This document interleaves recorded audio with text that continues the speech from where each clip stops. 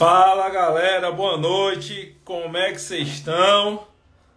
Vamos chegando aí no pezinho da conversa, domingão, 18 horas.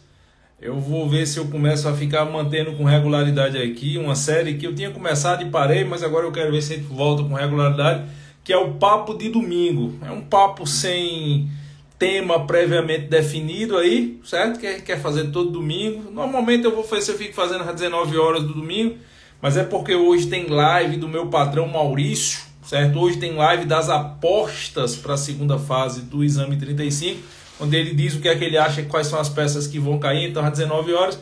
Aí eu entrei mais cedo hoje às 18 horas, inclusive fica a dica, tá? Para quem está na reta final de estudos para a prova da segunda fase do 35, para a galera que está por fora aí do calendário da UAB, a prova da segunda fase é no próximo domingo.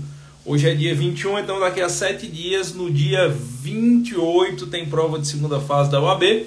E aí, a partir de amanhã, tem toda a semana de revisão do JUS 21. Inclusive, a galera de penal aí, eu já publiquei aqui no Instagram, publiquei no meu feed, também no meu stories é a programação, as aulas que serão de segunda a sexta. Quem é que vai ser, quem é que vai ser na segunda, terça, quarta, quinta, sexta e por aí vai. O link para inscrição está na minha bio. E hoje às 19 horas, o Maurício vai fazer a live das apostas dele, por isso que eu entrei mais cedo. Deixa eu ver quem está aqui no pezinho da conversa.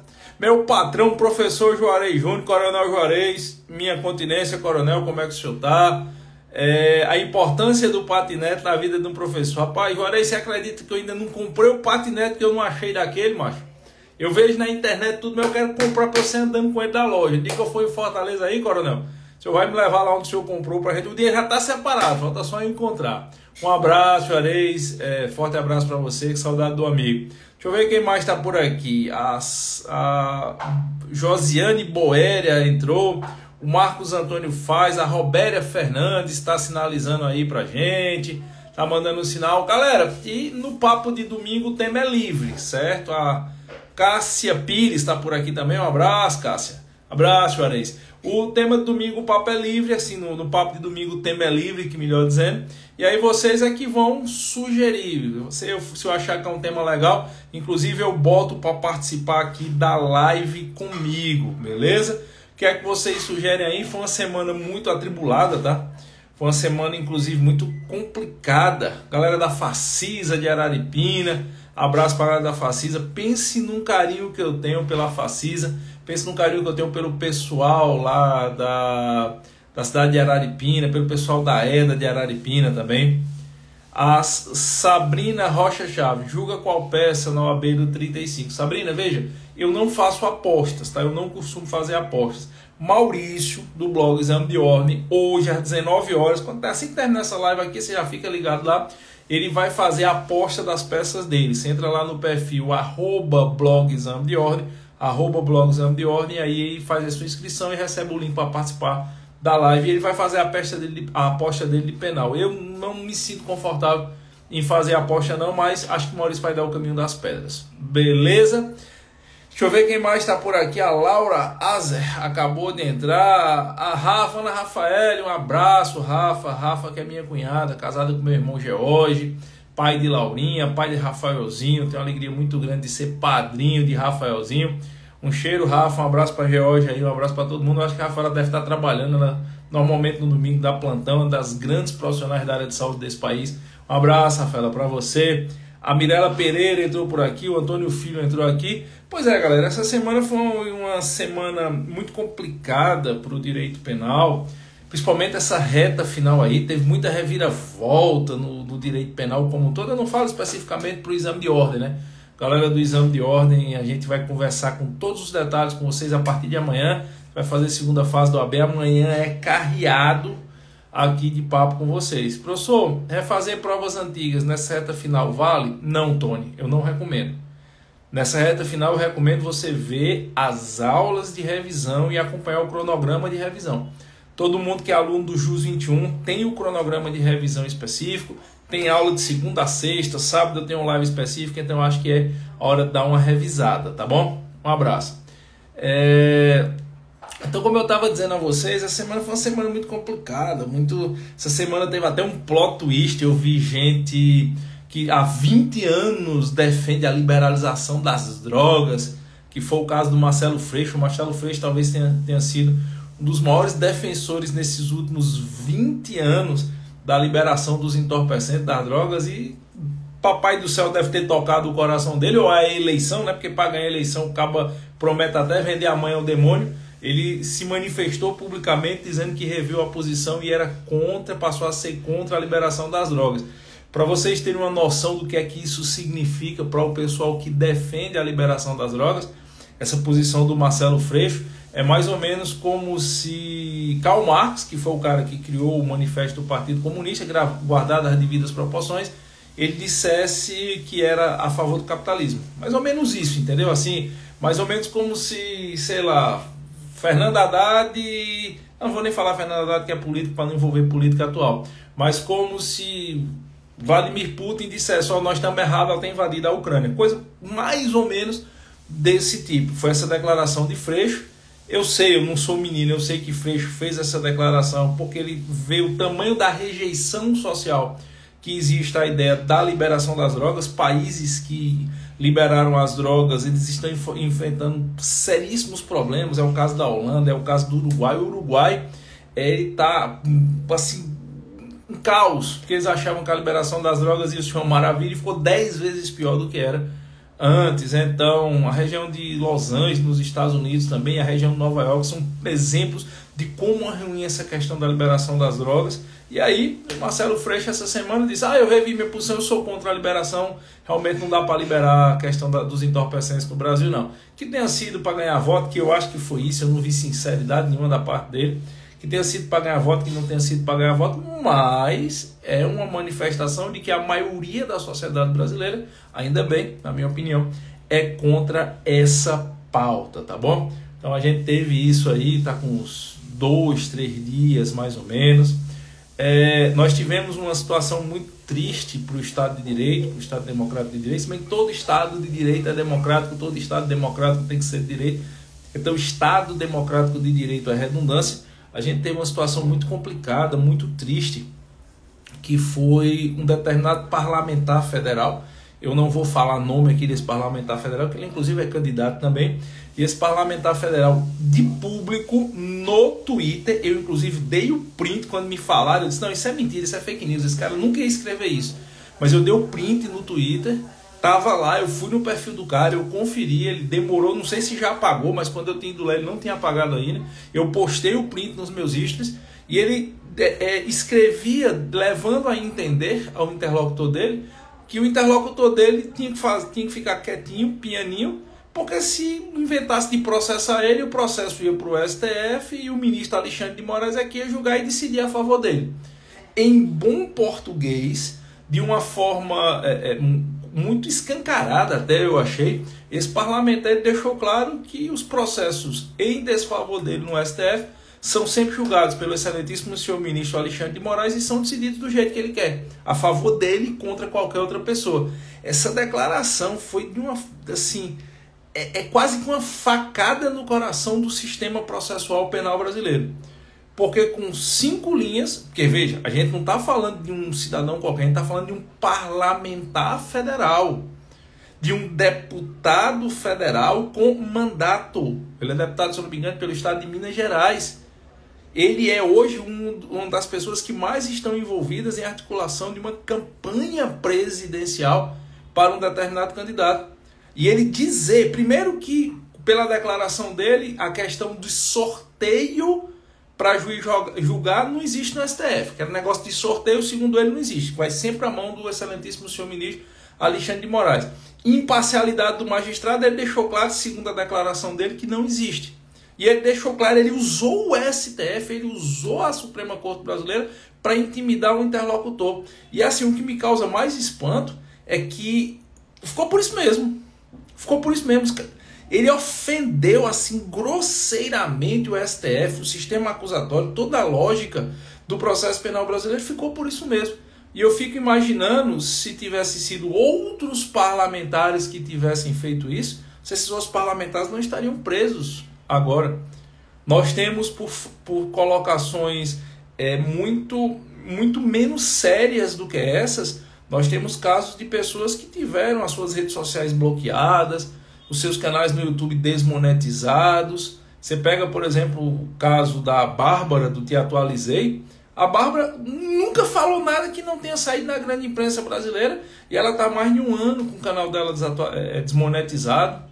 É, você tem jornalista que foi preso, você tem jornalista que está exilado e esse parlamentar fala isso e fica por isso mesmo. Então é muito triste, né? Porque é como se no Brasil é, tivesse sido subvertida a lógica de Jacobs e aqui, ao invés do direito penal do inimigo, a gente tem o direito penal dos amigos. Aos amigos do rei, aos amigos da corte, tudo pode, aos inimigos da corte, tudo é pressão. Então, como jurista, como professor, muito preocupante, eu fico muito preocupado. E uma coisa que me deixa muito preocupado também é que os demais juristas brasileiros ficam em silêncio. São pouquíssimos os juristas que têm assim falado, se manifestado. É, os maiores absurdos estão sendo feitos com o processo penal brasileiro, os maiores absurdos estão sendo feitos com o sistema acusatório é, brasileiro, e fica por isso mesmo, a galera não abre a boca, a galera não diz nada faz de conta que não está acontecendo. E o que é pior, eu conheço muitos desses juristas. Eu estou nesse mundo aí do direito há mais de duas décadas. Eu cansei de ver essa galera em cima de palco, de congresso, de evento, com o dedo em riste, dizendo que não se pode admitir o arbítrio, que não se pode admitir o desrespeito à Constituição, que a Constituição é o nosso norte. Aí vem um parlamentar federal e faz isso. E esses caras simplesmente ficam calados, não dizem nada. Que porra de direito é esse que eles defendem? Que danada de Constituição é essa que eles defendem? A Constituição só tem um lado, né? Quando vem pro lado deles. É, o grupo prerrogativas, olha o nome do grupo, o grupo prerrogativas, que defensor de prerrogativas não tem nada, que se diz defensor das prerrogativas da advocacia, não se manifesta numa situação como essa. O indivíduo parlamentar federal disse à parte ex-adversa: pode me processar que você vai se arrombar, porque quem vai julgar é o juiz tal, ele vai decidir do meu jeito. E os advogados do outro lado não têm prerrogativas a serem respeitadas. A paridade de arma deve ser respeitada, ninguém diz nada, fica por isso mesmo. Galera, ó, fecha a boca. O errado somos nós que falamos, as pouquíssimas pessoas que abrem a boca para falar, né? Mas é aquela história, né? É, convicção, quando é conveniente, não é convicção. Então, se você só fala quando é conveniente, é porque você não tem convicção, você tem conveniência. São coisas completamente diferentes. Então isso aí foi uma coisa que marcou muito aí essa semana. É, marcou muito mesmo. Outra coisa que marcou muito também foi um senador da República é, falar. Ele disse, eu escutei o áudio, que eu também achei que era fake news, que era teoria das, da conspiração, mas nos últimos tempos está mostrando aí que as teorias, das conspira as teorias da conspiração todas se tornaram verdade. Né? Precisamos de novas teorias das, da conspiração porque as antigas já se confirmaram todas. E aí um senador da República dizendo que basicamente ele e o partido dele vão fazer as frentes da Procuradoria-Geral da República. Eu escutei um senador da República declarando na boca dele, e isso circulou também aí, muitas pessoas viram, ele dizendo, olha, o Procurador-Geral da República não, vai, não faz o que a gente quer, então nós não vamos nos preocupar com o Procurador-Geral da República. Existe uma regra mas a gente não respeita essa regra. Vamos direto no STF, porque no STF a gente decide do jeito que quer. E o PGR e o Ministério Público Federal a gente deixa de lado. Basicamente, em resumo, as, as colocações dele foram essas. Eu não postei porque eu preciso do meu perfil aqui para trabalhar, certo? Esse meu perfil é um perfil profissional. E aí eu sabia que se eu postasse isso, eu ia tomar um chão de bed aí de sete dias e a gente está em reta final para a prova da OAB. É óbvio que eu uso isso aqui para me comunicar com os meus alunos e eu não podia deixar os meus alunos nessa reta final sem essa ferramenta de comunicação. Eu tenho certeza, se eu postar o áudio aí, mas eu acho que vocês, alguns de vocês, devem ter visto, circulou nos grupos de WhatsApp, estava lá no Twitter e tal.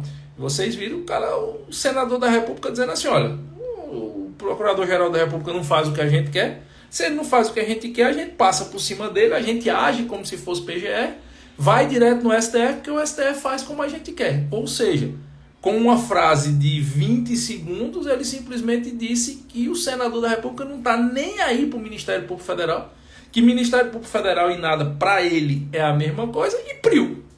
E priu. Ele quer ir no STF porque o STF resolve do jeito que ele quer. Quer dizer, você tem um deputado federal e um senador da República na mesma semana, no intervalo de tempo aí de poucos dias, declarando a parcialidade do Supremo Tribunal Federal a favor das pautas dele. Certo? Por óbvio, quero crer eu, eu respeito demais a instituição STF, quero crer eu que tanto o senador quanto o deputado federal, eles alopraram eles alopraram, eles mentiram, eles falaram em verdade, eles fizeram fake news. Eu prefiro acreditar nisso. Mas se eles não vão ser responsabilizados por essas suas palavras, fica meio complicado a gente achar que existe alguma regra válida, né? Porque eu tenho certeza que se fosse outros senadores, se fossem outros deputados que falassem isso, eles estariam com prisão preventiva, mandado de busca e apreensão, rede social banida e por aí vai. Então, aconteceu esse, essa semana, é um negócio muito complicado de você, como jurista, ver no que o processo penal brasileiro se tornou. Você vê que o sistema acusatório brasileiro foi completamente subvertido em muitos aspectos, vê o silêncio do universo jurídico, principalmente os penalistas estão calados, mas os constitucionalistas estão mais calados ainda, cara. Eu fico parando para pensar, bicho, cadê a. Não tem mais constitucionalista no Brasil. Não tem mais ninguém para defender regras elementares do artigo 5 da Constituição. Tem tão pouco processualista penal para abrir a boca e dizer, bicho, isso não está certo. Vamos seguir pelo menos o que está no código. Mas é a realidade, né? É a realidade que a gente tem. E isso aconteceu na semana que passou também. Nós tivemos também essa semana que passou é, Jacó Machado, que triste, isso deixa os cidadãos acreditados. Pois é, Jacó, assim, eu, eu como diria um mestre Ariano Suassuna, né? Eu não sou nem um esperançoso, nem um pessimista, eu sou um realista. E por ser um realista, eu ensino as regras processuais, as regras penais, para a prova da OAB, para a prova do concurso, que é isso que cai. Mas eu não acredito mais nessas regras sendo aplicadas no dia a dia num país que tem jornalista exilado, num país que tem pessoas sendo presas sem acusação formal, num país que você tem mandado de busca e apreensão que não especifica crime, num país em que advogados não têm acesso a autos do inquérito, e tá bom e fica por isso mesmo, num país em que um deputado federal usa o STF para ameaçar a parte ex-adversa fica por isso mesmo, num país em que um senador da República diz que a PGR, a Procuradoria-Geral da República, para ele não vale de nada, que ele vai fazer do jeito que ele quer, e fica por isso mesmo. Então, isso não é um, um estado onde as regras jurídicas valem. Tá certo? É, não é um país onde você tenha um, um, um devido processo legal, não é um país onde os princípios constitucionais sejam válidos, é uma mera carta de intenções. Então, eu sou um realista, eu não acredito é, com todo respeito, eu não acredito em Estado de Direito. Eu acho que a gente vive uma outra coisa, não é ainda um Estado de exceção, juridicamente falando, mas não é um Estado de Direito também. Mas é claro, isso não cai em prova do concurso, isso não cai em exame de ordem. Eu sou professor e na minha aula eu ensino o que está na lei, eu ensino o que precisa. Cada um que tire suas convicções aí. Aqui eu estou fazendo uma live, uma live de reflexão, o papo de domingo a ideia é para isso, para a gente fazer um resumo da semana, conversar com tema livre, sem ser uma aula formal, porque se fosse uma aula formal eu nunca falaria isso. E essa é a situação que eu enxergo, certo? Não tenho esperança em curto espaço de tempo, acredito que isso passa profundamente por uma renovação no STF, e essa renovação vai demorar, certo? Tem ministro aí que tem mais 30 anos pela frente, então não é uma coisa. A, a, recuperação do Estado de Direito no Brasil não é uma coisa que a minha geração vai ver. Certo? A minha geração vai lutar para. Mas quem vai ver, eu acredito, seja a geração da minha filha. Minha filha hoje vai, tem dois anos e oito meses. Beleza? Outra coisa também, essa semana aí, que deu muito rebuliço aí, deu muito é, disse-me-diz tal, foi a decisão do STJ no sentido de que guardas municipais não são forças policiais, são guardas de natureza patrimonial. Existe uma decisão anterior do STF validando um procedimento das guardas municipais, mas o STJ, agora a decisão era decisão monocrática do ministro Alexandre de Moraes, não era vinculativa, não decidia sobre o mérito se guarda municipal era ou não era polícia, tá? E agora a gente teve uma decisão do STJ essa semana, salvo melhor juiz da quinta turma do STJ, que adentrou especificamente na análise, o, ministro Schettini adentrou na análise do mérito se guarda municipal era ou não era polícia, e ele disse taxativamente que guarda municipal não é polícia. Eu defendo essa tese, quem me acompanha, eu defendo essa tese já há vários anos. Veja, não é que a Guarda Municipal não seja uma força importante em todo o contexto da segurança pública brasileira. É, inclusive, eu sempre defendi, por exemplo, porte de arma para os guardas municipais. Eu sempre defendi isso. Mas, tecnicamente, Guarda Municipal não é polícia. É, eu vejo algumas cidades aí dizendo que, guarda, que não é nem Guarda Municipal, chamam Polícia Municipal. Não existe Polícia Municipal. As pessoas inventaram esse termo para justificar uma situação, mas não existe polícia municipal. E o que o STJ disse é que a guarda municipal deve atuar como guarda patrimonial. Entendo eu que é bem razoável a guarda municipal atuar é, mediante convênio na fiscalização de trânsito, mas essa função de polícia em sentido distrito não cabe a ela. Até porque esses dois anos de pandemia aí, é, 2020, 2021, é, mostraram que como as guardas municipais elas estão muito próximas aos prefeitos, claro, existem exceções, existem ilhas de excelência, existem excelentes guardas municipais muito bem estruturados e com um sistema de fiscalização muito bom. Eu posso citar um que eu conheço aqui em Pernambuco, que é a Petrolina. A Guarda Municipal de Petrolina é um exemplo, é ímpar. Que, que, rapaz, queria eu que toda a Guarda Municipal no Brasil fosse que nem a de Petrolina. A Guarda Municipal do Recife também, eu acho um exemplo. Eu acho os caras muito bons. Mas eu não posso tomar essas ilhas de excelência como referência.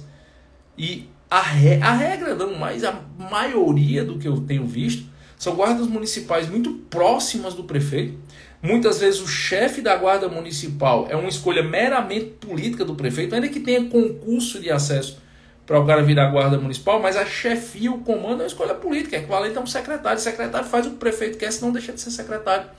E os sistemas de fiscalização dessas guardas municipais muitas vezes não existem. É diferente de uma polícia militar, de uma polícia civil, onde os sistemas de fiscalização, de corregedoria estão muito bem estruturados.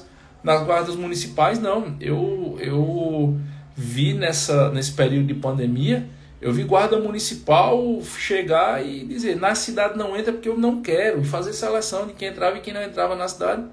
E ficou por isso mesmo. Eu vi vídeos de guarda municipal dando tapa na cara de, de mulher gestante que estava na rua vendendo água. Porque tinha outro menino em casa, o um menino na barriga, e precisava comprar o leite do que estava em casa. E guarda municipal dando tapa na cara. Giovanni, isso aconteceu com policiais militares? Infelizmente aconteceu, mas os sistemas de corregedoria, de fiscalização e de blindagem para diminuir a influência política dos governadores de estado nas polícias civis e militares é muito maior do que nas guardas municipais. As guardas municipais estão muito próximas do prefeito, elas acabam virando forças pretorianas dos prefeitos. E curioso, que é óbvio, você não deve estar tá dando palco a, a, a, a quem quer palco, né? Quando eu manifestei juridicamente a minha opinião, eu fui aqui no meu Instagram, depois vocês podem dar uma olhada lá, eu postei o julgado do STF, eu postei o resumo da emenda lá, eu postei o resumo do voto do ministro relator, eu dei minha opinião jurídica sobre isso. E aí começaram a aparecer algumas pessoas que ao invés de fazerem uma discussão jurídica, eles começaram a atacar. E você vê aquele você vê o nível que infelizmente algumas pessoas para defender essa ideia que guarda municipal tem que ser polícia a todo custo chegam Teve gente lá que virou para procurador da República, tem um, um pessoa, não vou citar nome, não me deu procuração, mas o pessoal que acompanha meu Instagram sabe que tem uma proximidade, uma amizade, uma afinidade de 10. O cara é procurador-geral da República, o cara é procurador da República, geral não, o cara é procurador da República, MPF. Foi delegado de polícia e hoje é MPF. E aí teve gente que chegou e disse: Ah, tu não entende nada de direito e de segurança pública, não, tal. Porra, bicho, procurador da República. Só porque ele, ele coadunou com a minha opinião. A gente, alguns guardas, teve um cara lá que disse assim: ah, esse advogadinho de porta de cadeia tem que tomar a costa, a guarda municipal. Claro que a gente não responde essas coisas lá, porque vai estar tá dando palco. Mas é esse tipo de coisa, esse tipo de situação, esse tipo de atitude é, é que, que ainda precisa ser modificada para que a sociedade possa começar a pensar em apoiar a causa dos guardas municipais virarem forças policiais. Eu, hoje, eu acho que é um desserviço. Eu acho que hoje, eu sei que tem ilhas de excelência, eu sei que tem guardas municipais muito boas, Brasil afora, muito boas mesmo, mas eu tenho que pensar na regra. E eu acho que hoje nós não temos condições de dar esse poder aos prefeitos. Não é nem pelos guardas, é pelos prefeitos. Porque os prefeitos eles abusaram, eles alopraram. Nós vivemos um momento de excepcionalidade, de exceção, aonde os direitos fundamentais foram jogados por terra e os guardas municipais, como eles estão mais próximos da população e têm menos ferramentas de fiscalização, de corregedoria em regra, eu conheço cidades onde não existe ferramenta nenhuma de corregedoria de fiscalização. Nenhuma, nenhuma, zero, zero, zero, zero. Alopra o prefeito é que decide o que acontece ou deixa de acontecer com o guarda municipal. E se o, o guarda fez o que o prefeito mandou, não vai acontecer nada com ele. Então, nós vimos o quão absurdo é a atuação de certas guardas municipais e como foi aí durante o período da pandemia. E, e, e, e, quão, e quão absurdo é você dar esse poder armado, armado no sentido de força é, é, é, é de segurança aos prefeitos eu prefiro 10 vezes, é, se eu tiver errado ou certo, se eu tiver que ser abordado, ser tratado pela Polícia Civil, pela Polícia Militar. Mas eu não. Eu, eu temo você ampliar esse poder dos prefeitos, dando a eles uma força policial. Insisto, isso não é desrespeito aos guardas municipais. Mas isso é uma preocupação com o uso político das guardas municipais. Como é mais próximo dos prefeitos, é mais fácil seriam utilizados. Ainda que o guarda municipal não queira, o cara vai perder o emprego dele, não vai, também tem família, eu entendo isso. Eu conheço guardas municipais que disseram, pô, Giovanni, eu fazia isso que o prefeito mandava, minha família passava fome em plena pandemia. Tem que fazer, mas a questão é estrutura. Tem guarda municipal que pode ser demitido porque o prefeito olhou para ele e não gostou, coisa que não acontece com tanta facilidade, nem na Polícia Civil, nem na Polícia Militar. Então isso também deu uma repercussão muito grande, muito grande mesmo. É eu levei porrada de todo lado, certo? Levei porrada assim. É, é Messita está dizendo assim: eu senti náuseas em ver a forma que os gêmeos estavam abordando as pessoas durante a pandemia. Eu tive a oportunidade de, como eu sou do interior, eu sempre precisava ir para o interior. Eu tenho um pai idoso e ele não. Desde que começou a pandemia, ele já não saía de casa, né? Ele mora num sítio ele já não saía de casa por, por, pelo fato de ser muito distante da cidade. E quando veio a pandemia, aí questão de, da idade dele, a saúde dele complicou, ele parou de sair. Então tinha que uma vez por mês sacar o dinheiro dele, fazer a feira, comprar remédio. É uma cidade do interior de Pernambuco aqui. E eu ia todo mês. E eu via cada absurdo, assim, cada situação nefasta e por diversas vezes. É, não comigo, sabe assim, não comigo, mas com outras pessoas e você via que algumas vezes o guarda municipal estava fazendo aquilo porque eu vou fazer aquilo eu pedi um emprego. E o prefeito estava usando aquilo como força de segurança. Eu vi, eu passei por cidade do interior do Nordeste que estava com um caminhão fechando a cidade e uma viatura da Guarda Municipal dizendo quem entrava e quem não entrava. E quando eu questionei sobre o direito constitucional de ir e vir, a resposta que eu escutei foi: quem manda aqui sou eu, não tem isso de Constituição não. Então, esse tipo de coisa assim é, é preocupante. Eu acho que primeiro a gente tem que tirar do prefeito o poder sobre a guarda municipal. E aí, na hora que os prefeitos não tiverem mais poder sobre a guarda municipal, elas forem instituições de Estado e não de governo, como é a Polícia Civil e a Polícia Militar, a gente pode voltar a discutir. Então, essa discussão também teve essa semana. Ó, o professor Renato Fazio acabou de entrar aí. Um abraço, Fazio. Fazio, que se eu não me engano, está na quarta-feira dando aula na nossa semana de revisão para a segunda fase. O pessoal da segunda fase tem aula segunda com Lula, com Luiz Carlos, terça com Paulo Furtado, quarta, se eu não tiver equivocado, é fase. É isso mesmo, Lu, Luiz Carlos, Paulo Furtado, fase, quinta e sexta-feira ao vivo comigo. Todo mundo aí sempre às 19 horas, horário de Brasília. Quem for fazer segunda fase, ou até quem quiser estar tá se atualizando aí para o exame de ordem, o link está na minha bio. Então foi isso aí o resumo da semana. O que mais? Teve alguma coisa que eu esqueci aí? Fale aí se tiver que eu esqueci. Vou, daqui a pouco eu termino a live, porque Maurício vai começar a live dele às 19 horas. Quem quiser saber das apostas aí, tá? Fica lá ligado. Deixa eu ver, o Rinaldo Pequeno. E quando o STF deu poderes para os guardas municipais, não deu um poder de polícia aos mesmos. Pois é, assim, é, é muito complicada essa situação porque os caras são considerados polícia para não ter direitos, mas não são polícia para o desempenho das obrigações, assim. Então, eu acho que falta, primeiro, você tirar dos prefeitos a, a gerência sobre a guarda, inclusive o comando, certo? O comando da guarda. E depois a gente pode imaginar realmente dar o poder de polícia. É se tirar o, o, a influência do prefeito, eu acho razoável. É, Bruno Pierre, mestre, se possível, comente sobre as decisões recentes do STJ anulando as prisões em flagrante quando a busca policial sem que chamar de fundadas razões. É, Bruno, o que o STJ fez para mim foi algo extremamente temerário, sabe? O STJ ele assumiu uma posição que praticamente inviabiliza o trabalho policial preventivo, principalmente o trabalho da polícia militar preventiva, que é a questão da abordagem. Assim, quem está na rua, policial que está na rua, eu não digo novinho, que acabou de sair do Cefap. Eu acho que pela sua foto aí, pelo seu avatar, você deve ser policial. Se eu não me engano, essa farda aí é o terceiro A que você está usando. E se você for policial, você vai saber isso melhor do que eu. O novinho sai do Cefap não, mas PM com tempo de rua, ele, como a gente costuma dizer, ele treina o olho. Ele bate o olho e ele já tem uma noção ali de quem está traficando, quem não está, quem está portando arma, quem não está. E essa suspeita baseada no, na experiência, no empirismo do policial na rua, sempre foi muito eficiente para você tirar de circulação o traficante, tirar de circulação quem está com porte legal de armas. E o que o STJ disse foi que essa suspeita, essa percepção que o policial tem, não é suficiente para abordagem. Aí, com base na, teo, na teoria dos frutos da árvore envenenada, invalida o resto. Eu, então, acho muito temerário. Ó, minha amiga Eliane Gaia, grande promotora de justiça, Ministério M, MPPE, Ministério Público de Pernambuco, uma pessoa que, além de ser minha amiga, é uma pessoa que eu respeito muito pelo trabalho. A professora Eliane Gaia acabou de entrar aqui e deu a opinião. É isso aí, patrão. O STJ inviabilizou o trabalho da polícia. Pois é, doutor. É, é, a experiência policial, doutor Eliane, deixou de ter sentido. A vivência do policial na rua deixou de ter sentido. Inclusive, pessoal, vou aproveitar que a doutora Eliana está aqui e vou fazer um comentário. Eu sempre digo para os meus alunos, principalmente nas turmas de pós-graduação lá do JUS 21, que querem enveredar pela área do júri.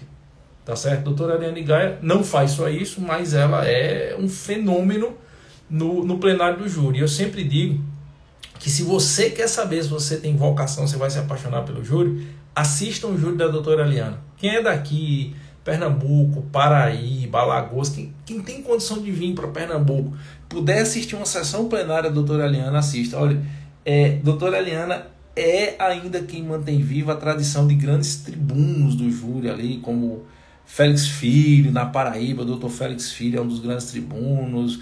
É, e doutora Eliane Gai, ela mantém essa tradição. Então, se você é estudante de direito, se você quer saber se sua vocação é militar na série criminal, principalmente no plenário do júri, você tem que assistir um júri da doutora Eliane Gai. Assista. Conselho de professor há mais de 20 anos. Ah, Giovana, é porque ela é sua amiga. Não, é porque ela é o exemplo do tribuno. A ideia, eu acho que quando pensar na figura do tribuno, no júri, pensaram na doutora Eliane Gai. Eu até brinco com os colegas que são advogados, que eu digo que ninguém é a doutora Eliane, porque não faz sentido, né?